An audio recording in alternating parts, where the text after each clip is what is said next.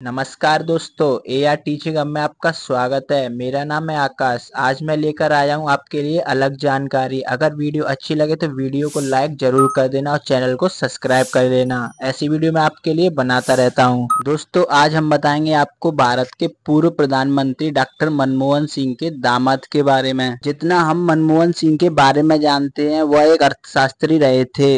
और भारत के कई वर्षों तक प्रधानमंत्री भी रहे। पर इस वीडियो में हम उनकी चर्चा नहीं करेंगे। इस वीडियो में चर्चा करेंगे मनमोहन सिंह के दामाद के बारे में। दोस्तों, मनमोहन सिंह की पत्नी का नाम गुरशरण कौर है और उनकी तीन बेटियाँ हैं। उनकी बड़ी बेटी का नाम उपिंदर सिंह है। वह दूसरी बेटी का नाम दमन सिंह है और तीसरी बेटी का नाम अमृत सिंह है। इसमें हम बात करेंगे उनकी दूसरी बेटी दमन सिंह के बारे में। दमन सिंह का विवाह अशोक पटनायक से हुआ अशोक पटनायक उन्नीस सौ तिरासी गुजरात कैडर के पूर्व आईपीएस अधिकारी रह चुके हैं। अगर हम बात करें उनके पद के बारे में तो वह राष्ट्रीय खुफिया ग्रेड के प्रमुख रहे थे। राष्ट्रीय खुफिया ग्रेड का मुख्य कार्य आतंकवाद रोधी हलचलों का पता लगाना और उन पर निगरानी रखना है। अगर हम अशोक पटनायक के सम्मान और पुरस्कार की बात करें तो उन्हें राष्ट्रपति द्वारा 2007 में पुलिस पदक मिल चुका है। अगर हम बात करें अशोक पटनायक की जाति के बारे में तो वह एक बंगाली ब्राह्मण है। अगर हम उनकी पत्नी के बारे में बात करें तो उनकी पत्नी दमन सिंह है। वह पेशे से एक इतिहासकार और लेखक हैं। दोस्तों, अगर अशोक पटनायक की सालियों के बारे में बात करें, यानी उनकी पत्नी की बहनों के बारे में तो उनकी दो सालियाँ हैं। पहली साली का नाम उपिंदर कौर है, जो इतिहास प्रोफेसर और लेखक है, और दूसरी साली का नाम अमृत कौर है, जो एक साइकोलॉजिस्ट है। अगर हम उनकी सास के बारे में बात करें तो उनकी सास का नाम गुरशरण कौर है, जो पूर्व लेखिका और गायिका रह चुकी हैं। उनकी सास गुरशरण कौर पहले दिल्ली में सिख समुदाय में कीर्तन का कार्य करती थी। दोस्तों, वीडियो में दी गई जानकारी आपको पसंद आए तो वीडियो को लाइक ज़रूर कर देना और चैनल को सब्सक्राइब कर देना। ऐसी वीडियो हम आपके लिए बनाते रहते हैं और वीडियो में कमेंट करके ज़रूर बताना वीडियो कैसी लगी।